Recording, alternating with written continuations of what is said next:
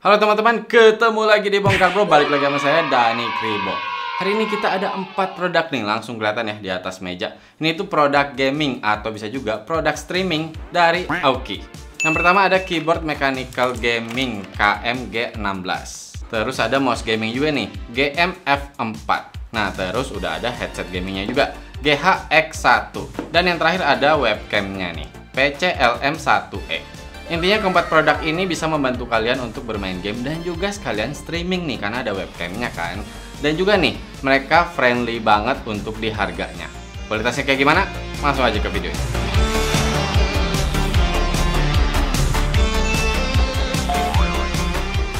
Nah, kita lihat dulu nih untuk harganya di official Mobix ID Store. Oh ya, buat kalian yang pengen lebih tahu tentang Mobix ini, kalian bisa follow Instagramnya. Oke. Okay. Nah, kalau untuk keyboardnya itu harganya di 420 ribuan. Kalau untuk yang mouse-nya itu di 300 ribuan. Kalau untuk headset gamingnya dan juga webcamnya itu harganya sama di 270 ribuan. Seperti yang saya bilang tadi kan, harganya nggak akan nyiksa kantong kalian. Nah, linknya bakal di deskripsi ya buat kalian yang tertarik. Kita mulai dari keyboard mechanical KMG16. Ini keyboard mechanicalnya menggunakan Aoki Blue Switch. Baru dengar sih ya, mungkin pertama kali juga nih uh, Aoki menggunakan switchnya sendiri. Dan kalau untuk jumlah keysnya udah 104, jadi dia udah lengkap banget. Oh ya, buat yang pengen tahu suaranya, dia seperti blue switch pada umumnya sih. Dia terdengar clicky dan juga untuk bouncingnya masih enak kok. Untuk bahannya sendiri dia ABS ya dan kalian lihat di atas arrow ini ada logo Aoki-nya. Nah dia tuh yang tipe sampingnya tuh kayak nggak ada penutupnya ya. Jadi kalau kalian lihat dari samping tuh langsung kelihatan untuk si switchnya di dalam. Ya buat yang kayak saya agak jorok mungkin agak takut ya kalau debu masuk. Tapi selama kalian rawat ya bakal aman-aman aja kok. Oh ya untuk keysnya sendiri diklaimnya sampai 50 juta klik. Ya saya sih nggak pernah sampai nyobain 50 juta klik ya. Dan kalau untuk RGB-nya itu di semua keysnya dan dia tuh ya rainbow gitu ya warnanya. Jadi e, dari ujung sampai ke ujung itu berwarna-warni gitu ya. Makanya dibilang rainbow juga kan. Dan kalian bisa mengatur untuk efeknya sendiri atau brightnessnya dan juga untuk speednya. Jadi nggak yang hanya cuma nyala doang gitu Menggunakan USB 2.0 dia tinggal plug and play bisa untuk Windows 7, 8, 10, macOS dan juga Linux. Sayangnya sih kalau untuk kabelnya sendiri dia nggak braided tapi udah kerasa cukup kuat kok saya coba tarik-tarik itu dia udah cukup enak. Walaupun saya pribadi sih agak takut ya kalau yang untuk di bagian keyboardnya ini karena beberapa hari ini saya cobain pakai ini kabelnya tuh agak miring gitu dan sekarang dia agak jadi miring gitu ya nggak yang kayak mau kecabut atau kebuka juga tapi agak-agak takut aja. Oh ya untuk panjang kabelnya sendiri di 1,6 meter dan udah dibilang anti ghosting nih untuk keysnya. Jadi bisa dibilang selalu akurat gitu kalau untuk si keysnya ini. Tapi kalau dari pengalaman saya sih nggak selalu ya. Ada beberapa kali ketika saya lagi main game yang butuh cepat gerakannya, eh, itu masih kerasa kadang-kadang dia tuh sedikit ya lemot gitu. Nggak yang kerasa banget, tapi beberapa kali kejadian tuh saya kayak, oh ini kayak gini sih gitu. Nggak yang sering, tapi ketika saya lagi main, pokoknya kadang-kadang kerasa gitu aja tuh. Nih saya udah tekan dari tadi kok kayak agak kurang responsif aja. Tapi memang ketika lagi butuh gerakan cepet sih, dan itu ketika saya lagi main game. Kalau untuk pakai daily ya untuk cuman ngetik aja atau waktu saya cobain lagi ngediting juga nggak ada masalah kok untuk uh, keysnya ini masih selalu responsif Oh ya karena dia udah lengkap gini otomatis dia ukurannya panjang ya. Tapi untuk di bagian bawahnya udah ada kaki-kakinya jadi kalian bisa uh, naikin untuk dia lebih tinggi gitu. Cuman kalau buat saya tetap saya pakai uh, hand rest gitu atau wrist rest karena ya tingginya sih lumayan ya dan lebih nyaman aja kalau buat saya. Tapi itu balik lagi ke kebutuhan masing-masing aja sih. Intinya untuk keyboard mechanical ini udah cukup banget kok untuk dipakai daily. Kalau untuk game semacam casual game gitu masih oke. Okay. Kalau kalian memang butuh yang gerakannya harus cepet banget dan harus dia selalu responsif kalau dari pengalaman saya kadang-kadang dia masih kerasa agak sedikit lemot tapi nggak yang sampai bikin kesel juga kok masih bisa dipakai oke okay. Nah sekarang kita ke mouse gamingnya. Ini tuh GMF4 Ini serius dari pertama kali saya keluarin langsung saya suka. Ini tuh dari ukurannya, dari bentuknya Ini tuh enak banget. Apalagi desainnya ya. Jadi dia tuh simple banget dan di bodinya ada logo Aoki. Untuk RGB-nya sendiri itu udah di mouse wheel-nya Dan juga di bagian bawahnya. Ini tuh mengingatkan saya kalau kayak ya mobil gitu kita modif terus di bagian bawah tuh pakai lampu LED gitu. Cakep sih. Untuk bahannya sama ya dia menggunakan ABS juga. Diklaimnya untuk tombolnya ini 20 juta klik uh, sekali lagi saya nggak nyobain sampai 20 juta klik tapi uh, dari beberapa hari ini dia lebih bagus dibandingkan keyboardnya. Dia responnya lebih oke. Okay. nah kalau untuk jumlah tombol sendiri ada 8 kalau kalian mau matiin RGB nya tinggal tekan tombol yang di bawah ini. Gampang Nah, lampu indikator yang merah ini, ini tuh menandakan DPI-nya. GMF4 ini tuh maksimal di 10.000 DPI dengan sensor PMW3325. Kalau polling rate hingga 1000 Hz. Nah, yang ini kabelnya udah braided ya dan dia panjangnya 1,8 meter. Udah kerasa kuat sih, udah kerasa enak. Dia menggunakan USB-A juga sama tinggal plug and play. Kalau untuk beratnya sendiri ya kira-kira hampir 100 gram gitu. Dan buat saya sih pakainya udah nyaman ya. Saya nggak pernah ngerasa yang terlalu berat atau terlalu ringan. Jadi pas aja. Oh ya, selain Windows XP, Vista, 7, 8, dan 10 bisa juga untuk macOS dan juga Linux. Tapi nggak ketinggalan nih, udah ada softwarenya untuk mouse gaming GM F4 ini. Dan kalian bisa download di websitenya Aoki. Cuman untuk softwarenya ini hanya untuk pengguna Windows aja ya. Nah, di softwarenya ini yang pasti kalian bisa atur untuk profile. Jadi misalkan ada beberapa pengguna, kalian bisa punya profile masing-masing. Terus bisa custom juga untuk si tombol-tombolnya. Dan juga udah bisa macro editor. Gak ketinggalan untuk mengatur DPI-nya, lightning-nya, sensitivity, scrolling speed, double click speed, dan juga polling rate-nya. Nah, pengalaman saya pakai mouse ini nggak ada masalah. Serius, enak-enak aja. Saya mau main game, saya mau lagi daily aja, asal buka YouTube, lagi ngedit. Ini udah oke okay banget. Saya selalu lancar. Eh, bahkan ketika saya lagi main game, saya butuh gerakan cepat, dia masih bisa mengikuti. Walaupun tetap bisa saya bilang untuk level akurasinya tidak di level yang udah pro ya. Ini masih di kelas casual gaming. Ya, masih sesuai harganya kok dan juga untuk si tombol-tombolnya ini selalu responsif dan kalau untuk buat tangan saya sih untuk nge masih oke. Okay. masih nyantai nggak yang harus gerakan tangan saya harus kayak gimana-gimana. Masih seperti mouse pada umumnya.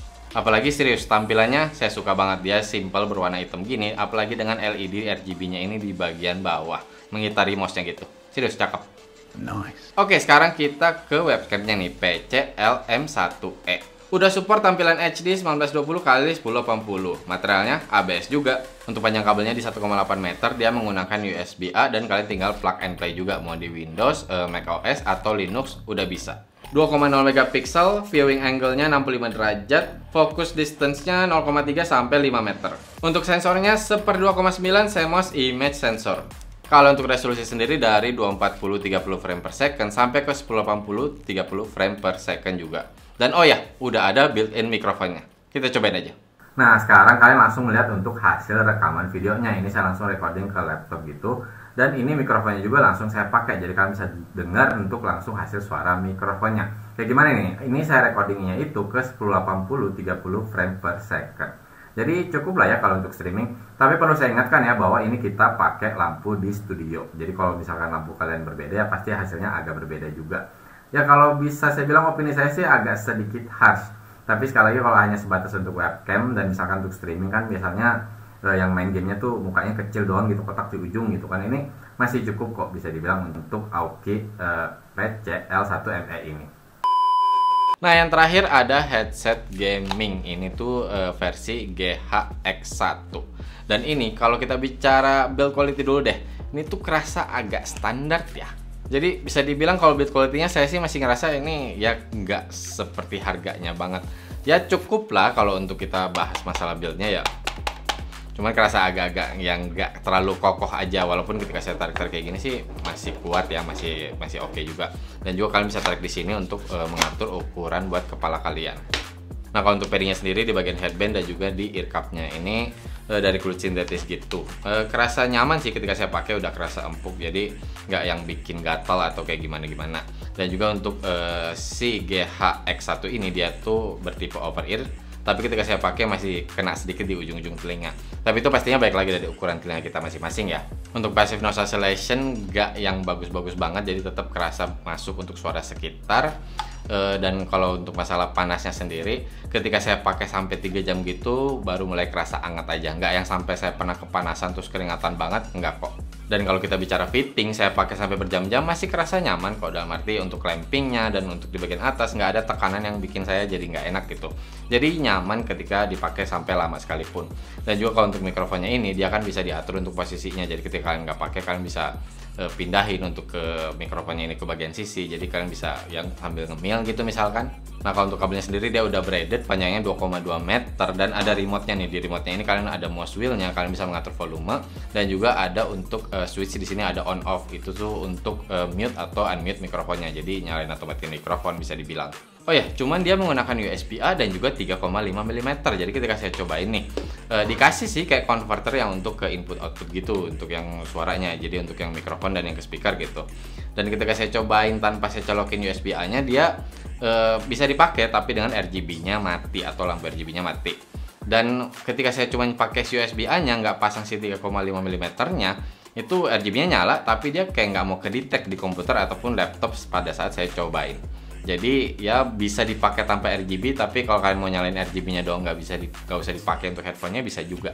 Nggak yang bikin ribet banget sih cuman ya kalau memang bisa dengan satu aja USB atau dengan 3,5 mm aja mungkin akan lebih nyaman kali ya. Kalau buat saya sih kayak gitu. Tapi dia tinggal plug and play ya. Jadi ketika kalian pasang di komputer atau di laptop itu dia akan langsung ngedetect dan bisa langsung dipakai. Nah selain untuk di Windows bisa untuk Mac OS dan juga Linux dan juga tablet dan juga smartphone kalau untuk LED RGB-nya sendiri ada di bagian luar ear cup-nya. Cakep sih walaupun nggak bisa terlalu diutak-atik ya, maksudnya dibiarin aja kayak gitu. Tapi dia yang kayak berwarna ya rainbow gitu juga. Jadi gonta-ganti tuh warnanya dan e, itu kayak gerak aja gitu, nggak yang cuman plain dim aja. Dan di tengah-tengahnya ada logo Aoki. Jadi kalau untuk desain sendiri saya udah bisa bilang suka sih dia terlihat simple aja dengan warna hitamnya paling kalau buat saya sayangnya mikrofonnya ini nggak detachable ya. Jadi ketika lagi nggak dipakai memang harus dipinggirin doang nggak bisa dicabut dulu. Oh ya di bagian luarnya juga ada satu LED-nya ya. Jadi ketika LED ini nyala di bagian ujung mikrofonnya nyala juga. Nah untuk mikrofonnya ini diklaim juga ada noise cancellation. Kita cobain aja Nah, saya udah pakai nih untuk headphone-nya dan mikrofonnya udah saya nyalain juga. Saya recording ke laptop pakai software Audacity gitu. Nah, kayak gimana nih untuk hasil suara mikrofonnya? Cek cek 1 2 3 1 2 3. Kalian langsung dengerin hasilnya. Ini kita di studio ada AC yang nyala terus ada kipas dari lampu tapi e, kalau saya lihat dari grafiknya sih nggak sampai masuk ya, tetap suara saya yang lebih utamakan. Dan juga karena mikrofonnya dekat juga kan sama mulut jadi memang masih kedengaran cukup jelas. Tapi uh, ketika saya lagi main sama teman saya nih, saya cobain pakai Discord gitu. Dia bilang ketika mikrofon saya lagi saya turunin dikit aja, ini hasilnya langsung kerasa udah beda. Dia bilang kok volumenya jadi lebih kecil sih. Ketika saya naikin lagi baru dia bilang, nah ini baru enak nih untuk suaranya. Oke, tadi kalian udah dengerin untuk hasil suara dari mikrofonnya. Kalau menurut saya sih memang agak kerasa sedikit naik ya untuk si bagian treble-nya terutama ketika ada huruf S kayak gitu. Jadi e, ketika saya cobain juga main sama teman saya, dia bilang sih masih cukup enak ya, masih kerasa cukup netral untuk suaranya nggak terlalu berat ke bass, nggak terlalu berat ke treble. Dan juga saya pakai Discord gitu kan komunikasinya. Jadi e, ada bantuan noise cancellation dari Discordnya sendiri. Tapi ketika memang saya lagi diam, dia bilang cukup bagus kalau dalam arti suara sekitar ini nggak terlalu ketangkap. Kalau untuk pickup pattern dari mikrofonnya ini dia omnidirectional jadi akan menangkap suara dari segala arah. Tapi seperti saya bilang tadi ketika lagi main sama temen dia nggak yang sampai keganggu sama suara sekitar. Ya memang sih saya mainnya juga ya dalam rumah gitu kan dan nggak terlalu ribut. Tapi ketika saya lagi misalkan ada suara bising motor lewat kayak gitu, dia nggak kerasa kok dalam arti dia nggak sampai notice. Oh ya saya tanya juga sama teman saya kalau saya pakai streaming misalkan dengan mikrofon ini kayak gimana? Dia bilang cukup-cukup aja sih apalagi untuk di beginner gitu ya eh, kalian masih mau ngeluarin duitnya tuh yang dikit-dikit aja dulu ya baru nyoba nyobain streaming misalkan. Ini udah cukup kok. Ya nggak dibilang yang bagus tapi nggak jelek. Nice. kalau untuk drivernya berukuran 55 mm Suaranya kalau yang dari saya rasain ini memang masih agak berat ke treble tadi juga. Jadi kadang-kadang untuk suara yang e, di frekuensi tinggi ini masih kerasa sedikit e, nusuk terutama untuk di ada huruf-huruf S yang kayak gitu tuh kayak berlebihan. Tapi nggak sampai mengganggu kok. Nah kalau yang untuk pecinta bass pengen bassnya naik banget, saya nggak ngerasa dia banget banget ada powernya sih. Cuman cukup-cukup aja ketika dengerin lagu EDM misalkan. Tapi kalau dengerin lagu pop ya masih kerasa kayak natural aja gitu. Jadi kayak netral. Jadi nggak yang terlalu berat ke mana berat ke mana yang penting semuanya keluar dengan clear. Dan itu ketika saya lagi dengerin musik ya. Ketika saya lagi nonton film saya cobain juga nggak yang sampai wah banget apalagi kayak bioskop nggak. Tapi masih cukup juga. Ya kalau misalkan kalian pengen yang ketika film action atau nonton film superhero pengen yang suara ledakan jadi aduh itu keren banget rasanya gitu efek suaranya. Ya yang pastinya nggak dapat ya itu udah harus yang surround. Karena ini kan hanya stereo aja nah kalau untuk di main game sendiri ketika ada suara langka atau ada suara tembakan jarak dan asalnya ini udah bisa saya identifikasi ya dari si suaranya aja Cuman memang tidak kerasa yang seperti surround pastinya ya yang untuk posisinya lebih detail lagi. Tapi tetap untuk kanan kirinya nggak yang khasnya asal kanan kiri doang gitu. Untuk serong ke depan belakang juga itu udah bisa kerasa dan udah bisa membantu lah ketika lagi bermain game. Walaupun ketika lagi ada suara yang lagi misalkan lagi keadaan perang terus rame banget atau pakai skill yang efek suaranya ini bertubi-tubi keluar terus-terusan, memang kerasa efeknya ini dia jadi kerasa sedikit distorsi dan juga detailnya ini dia nggak bisa keluar jadi kayak suaranya tuh saling tubrukan gitu. Tapi masih wajar kok kalau untuk di level harganya. Toh ketika memang lagi suasana yang nggak segitu ribetnya ketika kalian main game yang santai-santai aja, ini masih oke okay banget. Masih cukup kok untuk suara detailnya dan vibe-nya masih kerasa. Cuman kalau untuk suara pastinya beda-beda ya untuk selera kita masing-masing. Kita dengerin aja sound.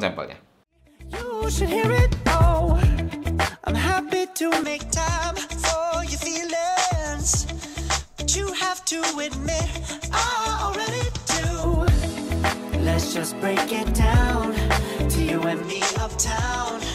Dancing all around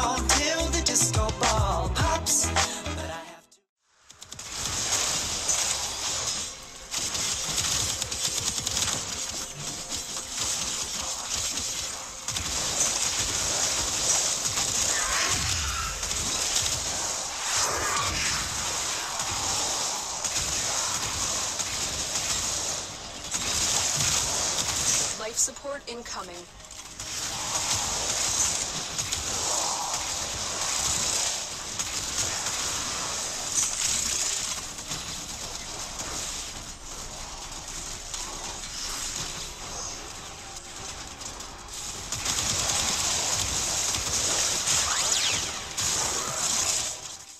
Oke, tadi kalian udah dengerin untuk sound sample-nya, perlu saya ingatkan nggak akan sama 100% ya, seperti kalian langsung pakai headsetnya. Nah, kesimpulannya untuk empat produk Aoki ini, ini lebih fokus ke gaming dan juga untuk streaming nih, karena ada untuk webcamnya.